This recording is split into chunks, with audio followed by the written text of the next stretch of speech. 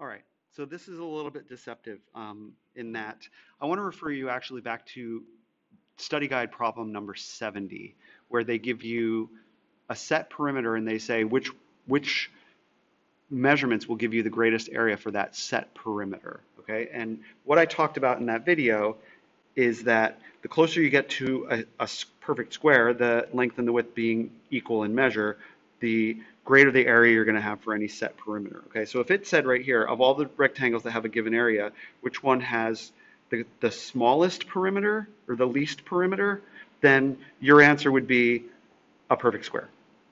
Okay, um, assuming that it was a rectangle, in which it says it's a rectangle, because the circle is actually better to, to decrease the perimeter for the given area. But if it's a rectangle, we get it as close to a square as possible. But if we're saying the greatest perimeter, then the idea here is this, watch, I can, I can, let's say, split this thing into two parts, and take a line, I'm gonna draw a line here. Um, If I split this along this line, kind of right in the middle of it, and I'm gonna take a screen grab, of like, cut out half of this,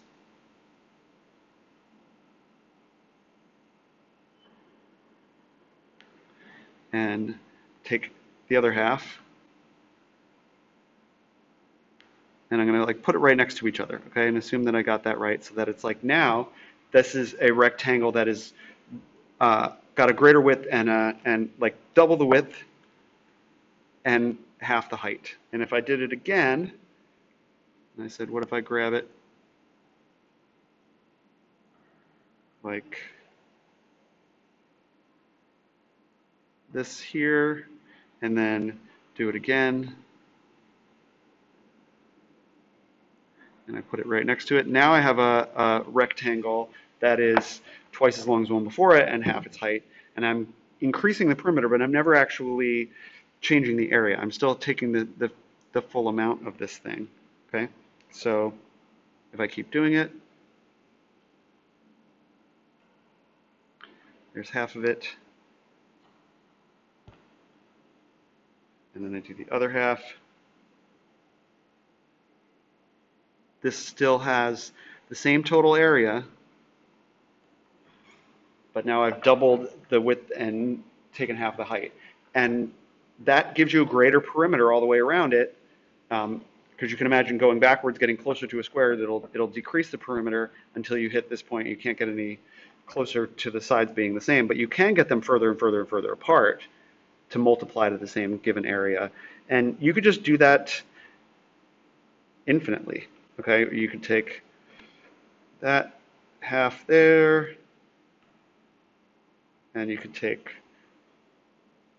the other half from the top and splice them off and line them up next to each other. And now, again, now you can see that we've got something that's going all the way off the page, and the perimeter is getting greater and greater and greater to walk around this thing.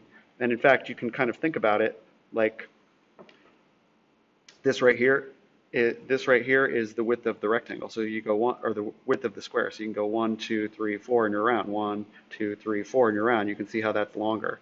Okay, one, two, three, four, and it's just way longer to go around this thing than it is to go around this thing. And by the way, when I go like one, two, three, four, I'm only going along one edge, and I still have to go up and then all the way back and then back down this is going to give you, imagine how far we could potentially, if this was getting skinnier and skinnier for a height, get longer and longer and longer and longer. And if you had to walk all the way around it, you'd have to walk all the way down before you could come all the way back. Okay? And there's no limit to cutting this in half and then doubling the width forever. And so there is not one greatest perimeter.